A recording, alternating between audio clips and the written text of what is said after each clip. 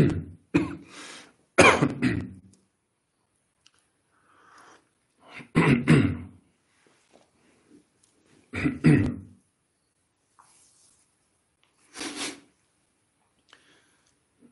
الله الرحمن الرحيم. إن الحمد لله نحمده ونستعينه ونستغفره ونعوذ بالله من شرور أنفسنا ومن سيئات أعمالنا. من يهده الله فلا مضل له ومن يضلل فلا هادي له. ونشهد أن لا إله إلا الله وحده لا شريك له ونشهد أن محمدا عبده ورسوله وخليله وحبيبه فصلوات الله وسلامه عليه على من أرسله الله رحمة للعالمين الله سبحانه وتعالى بعدد مختار الله الحمد صلى الله بسن Peygamberimiz Muhammed Mustafa sallallahu aleyhi ve sellemge salavat salamlar bulsun. Hürmetli ahli İslam, ahli iman, mumun, musulman, braderler. Alloh subhanahu va taolo hammalarimizni qilayotgan ibodatlarimizni o'zini dargohida beriyolik bilan qabul qilsin. Robbil alamin o'ziga ibodat qiladigan ruku sajda qiladigan o'zi suyukli bo'lgan bandalarni qatorida qilsin. Allohumma amin.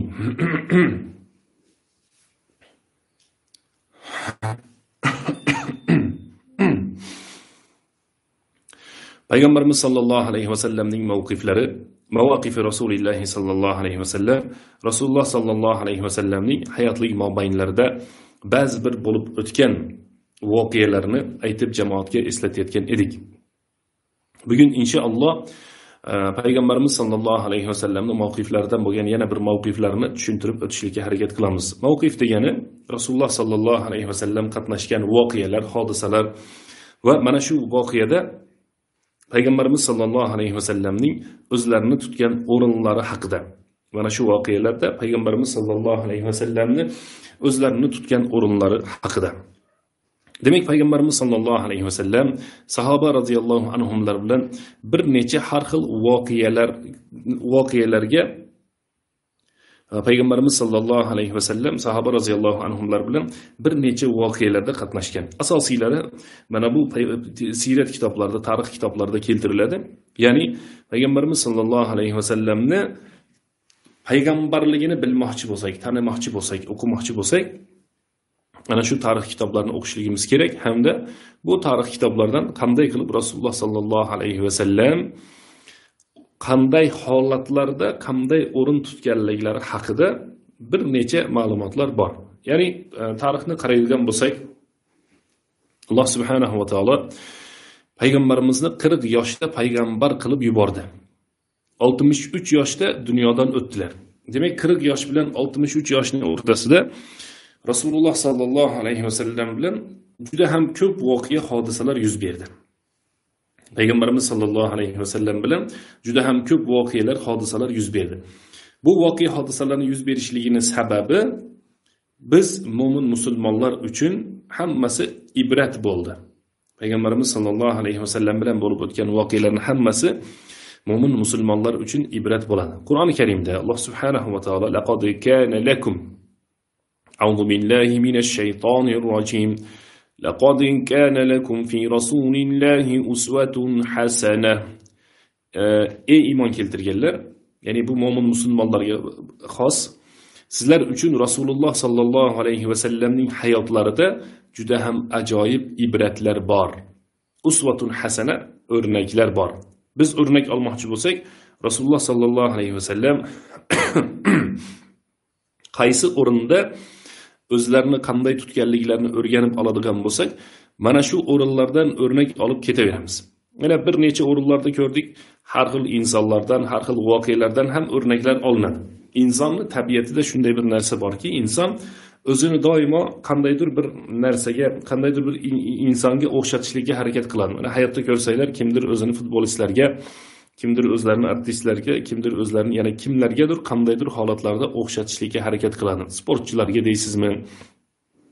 Va yana shunga o'xshagan mm, holatlarga. Hattoki yomon insonlarga ham o'zlarini o'xshatishlikka harakat qiladigan insonlar bor. Lekin alloh subhanahu va taolo qur'oni karimda marhamat qilib aytyaptiki laqod kana lakum fi rasulillahi uswatun hasana. Sizlarga rasululloh sollallohu alayhi vasallamning hayotida eng go'zal o'rnaklar eng go'zal ibratlar bor deb alloh subhanahu va taolo marhamat qilyapti. Mavaqif deb tanlaganimizning sababi mavqiflar o'rinlar rasululloh sollallohu alayhi vasallam o'zlarini qaysi o'rinlarda qanday tutganliklari haqida tarix kitoblarida juda ham ko'p keltiriladi. Birinchi mavqifi ikkinchi mavqiflarni biz e, aytgan aytdik. Alloh taoloni izni bilan inshaalloh bugun ham yana bir mana shunday rasululloh sollallohu alayhi vasallam ishtirok etgan bir voqeani mavqifni jamoatimizga alloh taoloni tavfiq hidoyati bilan aytishlikka harakat qilamiz inshaalloh madina munavvara payg'ambarimiz sollallohu alayhi vasallamning shaharlari eski ismi yasrib hozirgi ismi al madina al munavvara al madina al munavvara deb o'zgarganligi rasululloh sollallohu alayhi vasallam borganlaridan so'ng. Nurlik shahar degani. Makkatal mukarrama mukarram qilingan makkai mukarrama yoki al madina al munavvara mana hozir o'sha korona degan yer yuziga tarqagan vabo alloh taolo barcha mo'min musulmonlardan xosatan bizni yer yuzi bizni yurtlarimizdan mana shu o'rta osiyo xalqlaridan ham robbil alamin mana bu kasalligini vaboni tez orada yo'q bo'lib ketishligini o'rniga yaxshiliklarni almashtirib berishligini alloh taolo o'zi hammalarimizga nasib qilsin.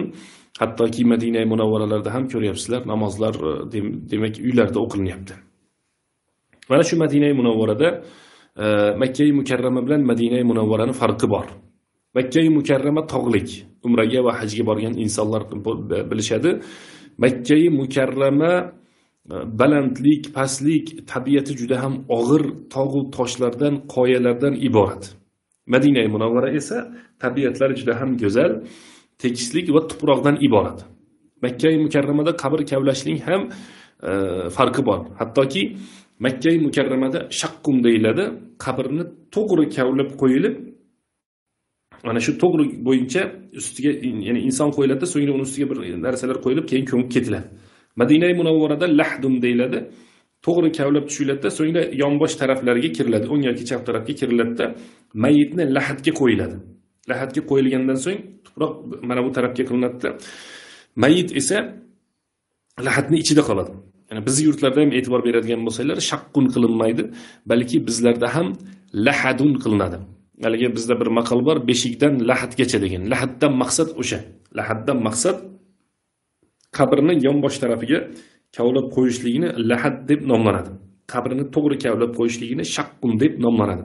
Endi bu ilmiy majlis bo'lganligi uchun ilmiy majlis bo'lganligi uchun xuddi sizlar bilan birgalikda o'tirganday o'zimni his qilyapman inshaalloh. Shuning uchun yonboshdagi ba'zi bir mavzularga ham urg'u berib o'tib ketishligimiz kerak. Demak shaqqun degani shaqqun degani yorib yorib qo'ydi degani to'g'ri qabrni kavlab qo'yishlikni shaqqun deyiladi. Lahdun degani yonbosh tarafidan ham kavlab qo'yildi degani ya'ni qabrni kavlab tushirib turib yonbosh tarafiga ya'ni lahad qilib qo'yiladigan bo'lsa mana bu lahdun deb nomlanadi. Hatto bizni xalqimizda beshikdan lahatgacha ya'ni e, tug'ilgandan boshlab to inson dunyodan o'tib ketguncha ilm izlasin degan ma'nodagi maqol.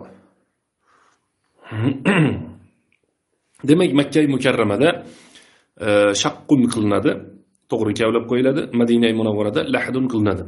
Makka mukarramada o'simliklar o'smaydi. Alloh taolo qur'oni karimda inda baytikal muharram.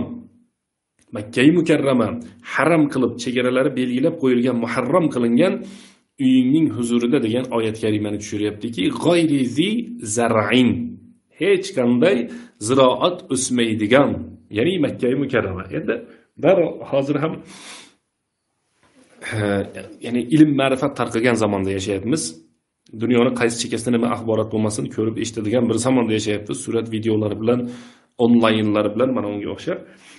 Aytishingiz mumkin masalan makkai mukarramada hozir o'simliklar boru desa baribir qanday bo'lgan holatda ham makkai mukarramada bog'roqlar bo'lib mevalar bo'lib mana bu yoqqa tarvuzlar ekilib bu yerga qovunlar ekilib biz yurtga o'xshab e, bizni mana bu yurtlarimizda qovunlar ko'p ekiladiyu.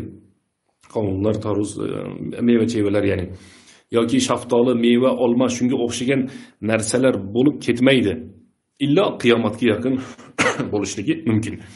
Demak makkai mukarrama ziroatga muxassaslangan xoslangan joy emas.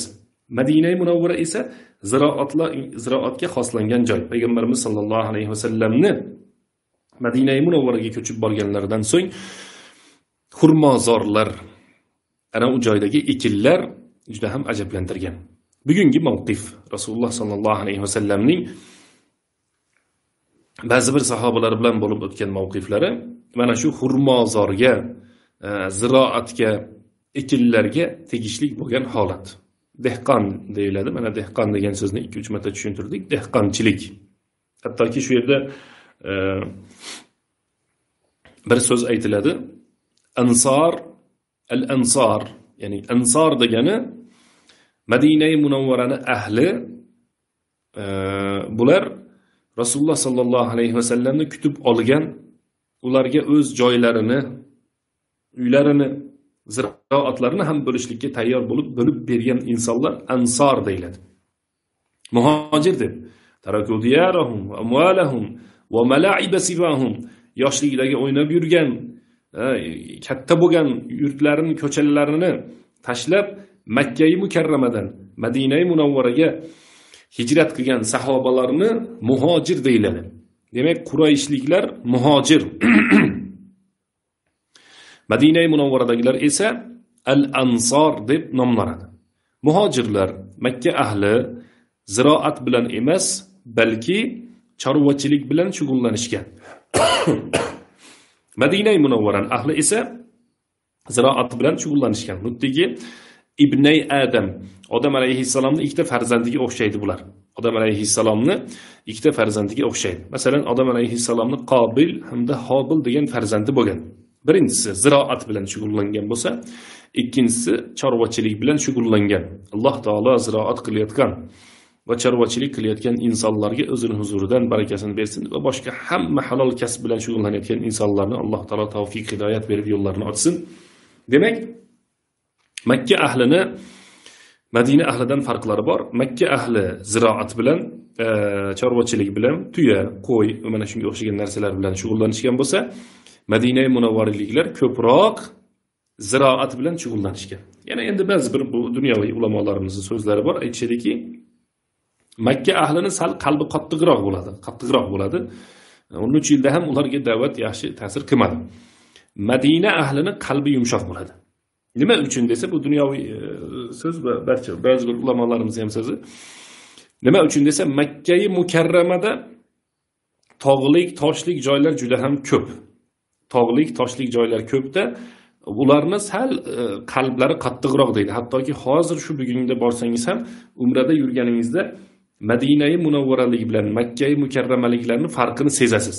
Hozirgi kunimizda ham makka ahli bilan madina ahlini ikkalalaridan ham alloh taolo o'zi tavfiq hidoyat bersin. Ana ularni farqini sezasiz makka ahli bag'ri toshroq chunki toshlikda yashashadi.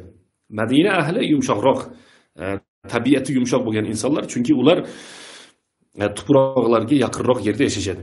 Shuning uchun ham aytishadi tog'lik e, joylarda yashagan insonlar baquvvatroq va qalbi sal qattiqroq bo'ladi deb nomlashadi. Nimaga? Ular tog'ni ustida yashashyapti. Balandlik pastlik chiqib tushib yurishadida sal e, qalbi qattiqroq bo'ladi deydi.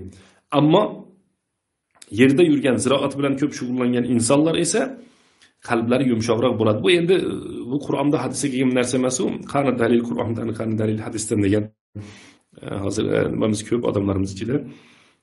Qur'ondan falonchi oyat dalil desangiz tarjimasini ham tushunmay ha qur'onda dalil bor ekan deb ketaveradigan odamlardan ko'proq chiqadi. Mana bunday so'zlar alloh taolo hammalarimizga foydali ilm bersin.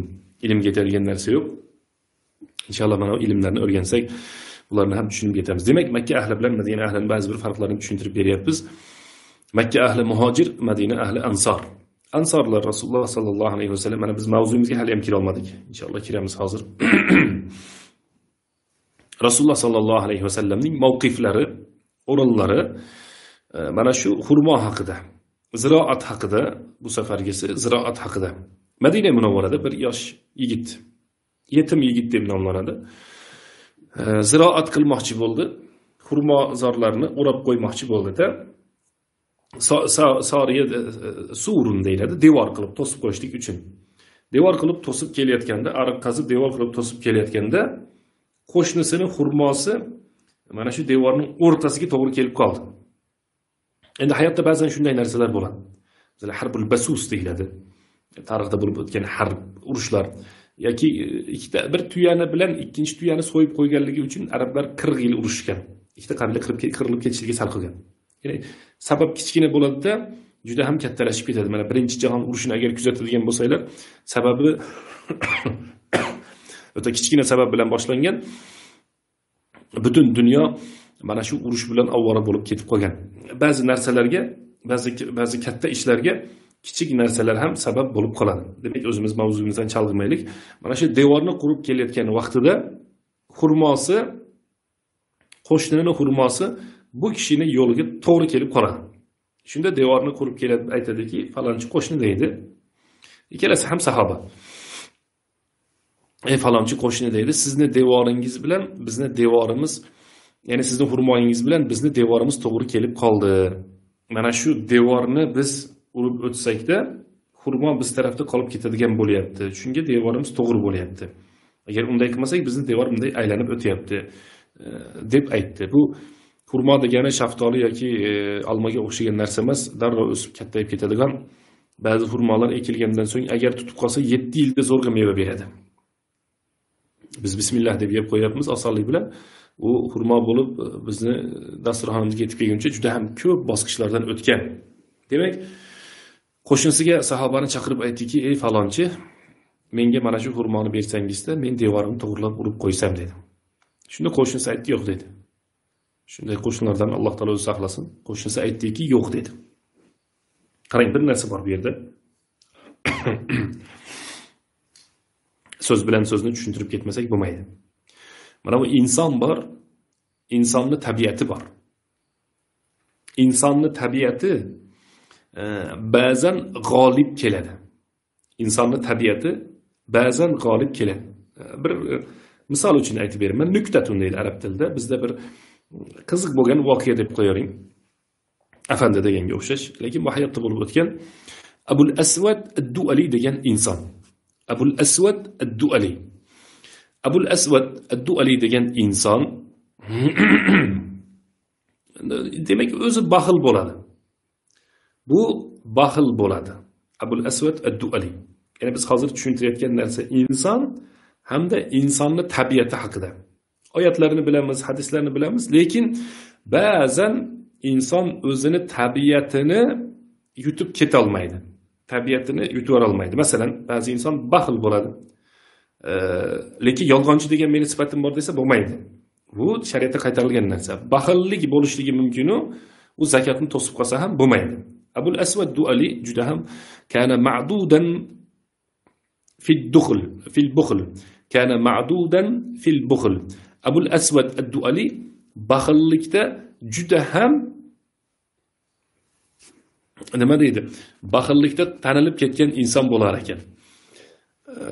Kunlarni birida qo'lida shunday bir e, sevatcha bo'ladida sevatda aytiladi kitoblarda kelgan bu ham. Bu kishi e, arab tili e, da eng oldidagi odamlardan bo'lgan. Lug'atul arabiyada ya'ni arab tilida grammatikasida eng oldidagi olim odamlardan bo'lgan. Lekin tabiati bor ekanda hamma insonni ham tabiati bor deganday biz buni haligi sahobani yo'q deganligiga misol aytyapmiz xolos. Nima uchun yo'q dedi u sahobayu degan so'z kelib qoladigan bo'lsa insonni tabiatini tushuntiryapmizda bir misol bilan tushuntirib beryapmiz xolos. Hayotda ham shunday baxil insonlar bo'ladiyu. Abul asvad duali ham shunday juda ham baxil bo'ladi. Aytildiki qo'lida shirin taom ko'tarib ketayotganini ko'rdi bir inson. O'sha taomini olib yoki birga sherik bo'lib taomini yemoqchi. Taomiga sherik bo'lmoqchi. Shunda boyagi inson aytadi roaytu imraatak men seni ayolingni ko'rdim dedi. Qola hiya fi tariqik. E, ko'rgan bo'lsang meni ayolim yo'lda yurgan bo'lsa ko'zing tushib ko'rib qolgandir dedi. Qola hiya hamil. Seni ayoling homilador ekan. Ya'ni o'sha to'qqizinchi oyga yetib ketdi xursandchilik endi yaqinda farzandlik bo'lasan ekan. Aytmoqchi bo'lyaptiki hozir farzandlik bo'lasan ekan desam mana shu menga qo'lidagi taomini ke mana xursand qilding meni deb e, taklif qilib yuboramikin degan maqsadda aytyapti narigi inson. Ayoling homilador ekan farzandlik bo'lasizlar ekan yaqinda desa e, u kishi aytdiki endi e, er xotin birga turmush qurib yashagandan so'ng homilador bo'ladi ayol kishi homilador bo'ladi buni nimasi ajablanarli dedim. Deganda qola hiya valadat e farzandlik bo'lding dedi.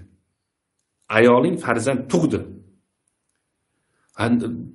Endi bola ko'rding desam mana shundan xursand bo'lib ketib taomga taklif qilib yuborarmikin deyaptida lekin abul asad duvali juda baxil odam. Ayoling farzand ko'rdi ya'ni tug'di ayoling deganda to'qqiz oy bo'lgandan keyin nima qiladi? dedi.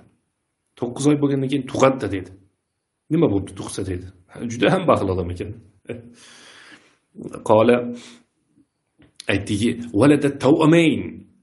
seni ayoling ikkita tug'di. Xursand bo'lib ketarmikin ovqatga taklif qilarmikin deb. Ikkita farzandlik bo'lding dedi. Qora kadalika kanat ummuha. Onasi ham shunaqa edi. Onasi ham ikkita tuqqan edi. Endi bolasi ham ikki marta tug'ib qo'yibdida. Mayli endi bular qonida bor ekan ikkita tug'ishlik. Hech ajablanarlik so'z yo'q. Ikkita tuqqan bo'lsa qonida bor ekan ikkita tug'ishlik. Ajablanarligi yo'q dedi. U hali ham taomdan umid qilyapti. Buni g'azabi chiqib endi dedi g'amgin xabar aytadigan bo'lsam mana shunda bu taomini menga beradi shekilli dedida mat ahaduhuma. Tug'ilgan farzandlarni bittasi dunyodan o'tdi dedi. Bolangni bittasi o'tib ketdi. Ko'rmaysan dedi. Deganda abul asvad duvali aytdiki ma kana taqdir ma kana taqdir turdi al isnayn ikkalasini teng emizgani enasini baribir kuchi yetmardi mayli bittasi o'tib ketgan bo'lsa baribir ikkalasini emizolmardi o'zi zaif edi dedi. Qolat qola va matal axir yana keyingisi ham dunyodan o'tib ketdi dedi.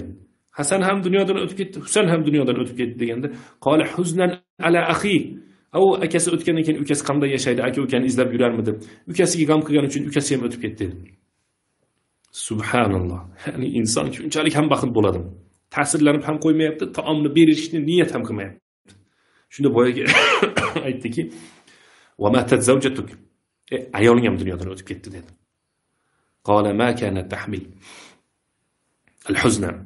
Bunday g'am tashvishni qayerdan ham ko'tarsin ikkita farzand dunyodan o'tgandan so'ng o'zi ham dunyodan o'tib ketadida dedi qola taomuka laziz seni ovqating shirindir ey abul asvad dedi qo'lingdagi taoming shirin bo'lsa kerak dedi qola lizaluka akaltuhu wahdi ovqatim shirin ha o'shaning uchun senga bermasdan men o'zim yeyman dedi meni taomim shirin shuning uchun ham men senga bermasdan taomni o'zim yeyman dedi. Ya'ni insonni ba'zi o'rinda tabiati bor baxillik qiladigan tabiatlari bo'ladi. Ya'ni buni to'g'ri tushunamiz. Ba'zi bir odamlar bo'ladi hmm, qani endi meni mana u deydi burnim bitta bo'lganda bir taraf bilan nafas olgan bo'lardim deydi. Xuddi shuni misolda aytishadi. Ya'ni baxillik mavzusida aytamiz ularni bir ko'zim bilan ko'rsam yaxshi bo'lardi yoki bir qulog'im bilan eshitsam bo'lardi degan shunchalik darajada baxil insonlar bo'ladi hayotda. O'ta qattiq baxillik qiladigan insonlar ham hayotda bo'ladi. Lekin shariatda baxillik qilishlik qaytarilgan. Shariatimizda baxillik qilishlik qaytarilgan. Ayniqsa erkak kishilardan birinchi navbatda erkak kishilardan so'ngra ayollardan ham hatamuttoi hatamuttoy degan inson tarixda o'tgan o'zi musulmon emas farzandi islom diniga kirgan keyinchalik juda ham qo'li ochiq bo'lgan. Demak baxillik qilmash kerak. Boyagi sahobani ozgina baxillik qil desak bo'ladida sahobiy kelib so'radi falonchi dedi. E, bizga iloji bo'lsa mana shu xurmoyni bizga o'tkazib bersangiz. Deganda aytdiki yo'q dedi sahoba yo'q desa ba'zan sahobalarda ham shunday holatlar kuzatilib qolishligi mumkin. Ya'ni harom ish qilayotgani yo'q o'zini haqqi. Yo'q bergim kelmayapti sizga bermayman dedi. Harom emas o'zini haqqi. Xohlasa beradi xohlamasa bermaydi. Yo'q bermayman dedi. Shunda ber deb iltimos qildi yo'q bermayman dedi. Boshqa xurmo beraman dedi yo'q bermayman dedi. Men seni rasulullohga shikoyat qilib aytaman dedi. Aytaver dedi. Rasulullohga borib aytsang aytaver bu meni xurmoyim dedi. Shunda payg'ambarimiz muhammad mustafa sollallohu alayhi vasallamni huzuriga boyagi yetim inson bordida yo rasululloh ey allohning elchisi bizni uyga bir boring. Bir holat bo'lyapti mana shu holatimizga. O'zingiz bir baho berib o'y fikringizni aytsangiz degan maqsadda payg'ambarimiz sollallohu alayhi vasallamni yetaklab keldi. Rasululloh sollallohu alayhi vasallam uzoqdan chaqirilsalar ham agar xotirjam bo'lsalar ishlari yo'q bo'lsalar kelib mana shu sahobalar bilan mavqiflarda birga turardilar mavaqiflarda o'rinlarda holatlarda payg'ambarimiz sollallohu alayhi vasallam birga turar edilar. Ey falonchi nima bo'ldi? deb so'raganlarida mana bu meni devorim. To'g'ri urib ketishligim uchun xurmosi halol beryapti. Xurmosi esa biz tarafda qolib ketyapti. Xurmoni bering desam menga xurmosini bermadi ya rasululloh deb aytdi. Shunda payg'ambarimiz sollallohu alayhi vasallam ya fulan ey falonchi xurmoni bermaysizmi dedi. Deganda allohning elchisi dedi men xurmoni berolmayman dedi. Iya ey falonchi xurmoni bering bering bitta xurmoni nima bo'pti? dedi. Bu buyruq shar'iy buyruq emas ixtiyoriy buyruq. Xuddi barirani voqeasida kelganday ikkalasi ham qul bo'lishadi er ham o'zi ham. Erini o'ta qattiq eri uni ayolini o'ta qattiq yaxshi ko'radi ammo ayol bitta ham yaxshi ko'rmaydi. Alloh taolo saqlasin bunday narsalardan. Teskarisidan shunda payg'ambarimiz sallallohu alayhi vasallam boyagi ayolni chaqirib ey falonchi ering ko'chada yig'lab yuribdi seni o'ta qattiq yaxshi ko'radi ering bilan birga yashagin deganda ya rasululloh bu olloh va rasulini buyrug'imi yoki taklifimi? deydi. Farqni qarang sahobalarni odobini. Mana bu narsa ham juda ham muhim. Bu alloh taoloni qur'oni karimdagi rasuli sollallohu alayhi vasallamning sunnai mutahharalaridagi buyruqlarimi yoki ixtiyoriy bo'lgan bir masalami. Ya rasululloh deganda payg'ambarimiz sallallohu alayhi vasallam yo'q men ixtiyoriy mashvara qilyapmiz deganda unday bo'lsa men bunga tegolmayman bu bilan yashay olmayman degan boyagi insonni so'zi. Shuni singari hozirgi oyat karimada xurmoni bersin degan oyat yo'q. Yoki rasululloh sollallohu alayhi vasallam beradigan bo'lsa bermasang mana unday bo'lasan degan vaid yo'q. Ammo taklif qilyaptilar xolos payg'ambarimiz sollallohu alayhi vasallam. Bermaysan deb uch marotaba aytganda yo'q bermayman dedi. Ey falonchi dedi. Agar sen mana shu xurmoni beradigan bo'lsang valaka naxlatun fil janna. Jannatda mana men senga xurmo olib beraman dedilar. Sallallohu alayhi vasallam payg'ambarimiz sallallohu alayhi vasallam jannatda men senga xurmo olib beraman dedilar. Ya'ni mana shu joyini ham ko'p sharhlasak bo'ladi ammo vaqtimiz oz qolganligi uchun. Ya'ni ehson qilsang jannatga kirasan degan so'z. Birro hatta tunfiqu mimma tuhibbun. O'zinglar yaxshi ko'rgan narsani infoq qilmagunlaringcha sizlar jannatga yeta olmaysizlar degan oyat karima. Shunda boyagi sahoba aytdiki yo'q dedi. Allohu akbar. Payg'ambarimiz sollallohu alayhi vasallam aytsa ham unamadilar jannatdagi xurmoga ham unamadilar ba'zan shunday holat bo'ladi biz buni tushuntirdik. Abu dahdah roziyallohu anhu mana shu mavqifda mana shu o'rinda birga turgan edilar. Ey rasululloh ey alloh taoloni elchisi agar mana shu xurmoni sotib olsam men so'ngra. Bunga bersam menga jannatda xurmo bo'ladimi yo'qmi dedi. Jannatda xurmo bo'ladi dedi. Payg'ambarimiz sallallohu alayhi vasallam aytdilar jannatda xurmo bo'ladi dedilar. Shunda abu dahda aytdiki ey falonchi dedi. Xurmoyini menga sotmaysizmi dedi. Ho'p qanchaga sotib olasan? dedi. Deganda sen abu dahdahni madina munavvaradagi bog'ini bilasanmi dedi abu dahdahni madina munavvaradagi bog'ini bilasanmi dedi bismillah قال ومن يتجاهل حديقة أبو دحداح abu dahdahni bog'ini tanimaydigan odam ham bor ekanmi dedi seni olti yuzta xurmoying bor devor bilan o'ralgan ichiga uy qurilgan Э, nima deydi? Azbun deydi. Toza e, ichimlik suvi chiqadigan seni bog'ingni kim bilmaydi? Ey abu dahdah dedi. Xohlasang dedi. Devor bilan o'ralgan. Olti yuzta xurmosi bor. Ichida toza suv chiqadigan yashaydigan uylar bor mana bu bog'ni hammasini bitta xurmo uchun men senga sotib yuboraman dedi. Allohu akbar mashaalloh. Ba'zan mana shunday insonlar topiladi hayotda. Ba'zan mana shunday insonlar topiladi. Jannat uchun alloh va rasulini roziligi uchun jannatdagi bir bo'lak joy uchun butun dunyosidagi egallab turgan barcha narsasini infoq ehson qilib yubormoqchi. Uyi ham ketyapti bog'i ham ketyapti hamma joy ketyapti. Shunda boyagi aytdikki agar shunday bo'ladigan bo'lsa mayli men senga xurmoni sotdim dedi. Guvoh bo'linglar dedi abu dahdah. Men bu kishiga bog'imni to'liq hammasini berdim bu xurmosini sotib oldim dedi. Dedilarda yo rasululloh ey alloh taoloni elchisi men xurmoni sotib oldim. Men xurmoni esa sizga berdim. Siz xohlaganday mana bu xurmoni o'zingiz xohlagan insonga bering deganda payg'ambarimiz sallallohu alayhi vasallam haligi yetim yigitga qarab ey falonchi mana xurmo senga o'tdi. Devoringni to'g'irlab devoringni to'g'irlab urib ketaver deb aytdilar. Abu dahdah boyagi voqeadan so'ng chiqdi. Qaytib keldida eshikni ochmoqchi ochilmayapti. Eshik xurmo bog'ini eshigini ochmoqchi ochilmayapti. Ummu dahdah. Ey dahdahning ummi onasi ummu dahdah deb so'radida men xurmozorni sotib yubordim dedi. Ayoli ham o'ziga o'xshaydi. Bilasizlar erkak kishilar ayollar bir birlariga o'xshaydi turmush o'rtoqlari xurmozorni sotib yubordim deganda nega sotib yubordingiz? dedi.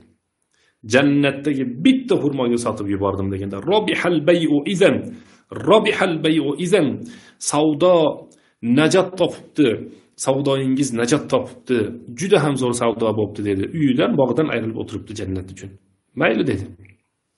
Farzandlariga kih deydi arablar. Bizda ham mana shu so'z ishlatiladi. Cho'ntaklaridagi xurmolarni chiqarib qo'llaridagi xurmolarni olib hattoki bir farzandni og'ziga xurmo solayotganda og'zidan chiqarib bo'ldi. Bu xurmoni egasi boshqa bo'ldi deb hammalari boyagi xurmozordan sekin chiqib ketishgan ekan. Bu hadis sahih hadis va payg'ambarimiz sollallohu alayhi vasallamni sunnai mutahharalarida rivoyat qilingan hadis. Shuning uchun hurmatli mo'min musulmon birodarlar azizlar har birimiz mana biz hayotni qanchalik qisqa ekanligini hayotni qanchalik o'tkinchi ekanligini tushunib yetyapmiz. Har birimiz infoq ehson qilishlikka harakat qilaylik. Yana shu o'rinda men so'zimiz nihoyasida so'zimiz nihoyasida e, bir so'z aytib aytaman jamoatimizga. Taomni masalasi. Taomni masalasi birodarlar ulamolarimiz e, shunday bir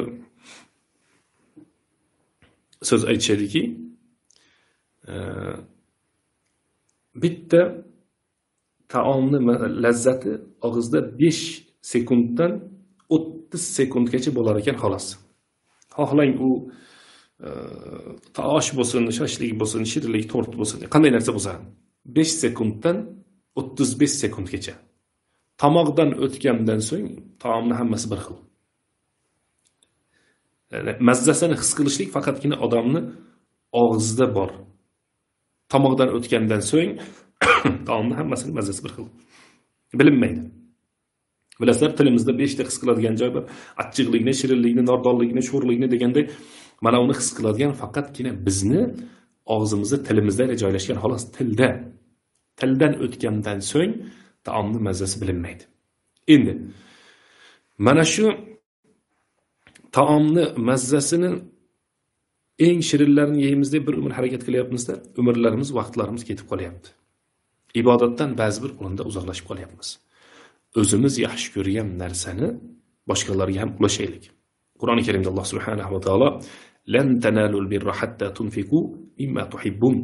o'zlaring yaxshi ko'rmagan narsa o'zinglaring yaxshi ko'rgan narsani birovlarga ehson qilmagunlaringcha boshqa insonlarga ehson qilmagunlaringcha yaxshilikka yetib bormaysizlar deyapti. Alloh subhanava taolo hammalarimizni rasululloh sollallohu alayhi vasallamni mavqiflaridan o'rinlaridan hayotda tutgan holatlaridan alloh subhanahu va taolo ibrat oladigan insonlar qatorida qilsin.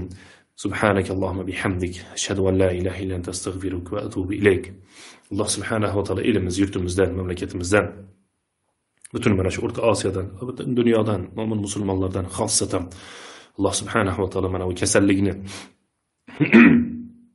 bu bo'layotgan vaboni uzoq bo'lishligini alloh taoloni o'zi nasib qilsin. Alloh subhanahu va taolo hammalarimiz qur'oni karimni tushunadigan rasululloh sollallohu alayhi vasallamni sunnatlarini tushunadigan insonlardan bo'lishligini alloh taolo o'zi nasib qilsin. Alloh subhanahu va taolo hammalarimizga foydali ilm bersin. Alloh subhanahu va taolo ilmlariga amal qiladigan insonlardan bo'lishligimizni alloh taolo o'zi nasib qilsin.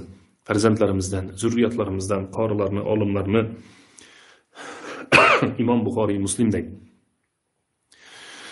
katta e, farzandlar olimlar zabardast ulamolar chiqishligini alloh taolo o'zi nasib qilsin. Robbana zalamna anfusana va illam taghfir lana va tarhamna lanakunanna minal khosirin allohumma ahsin aqibatana fil umuri kulliha.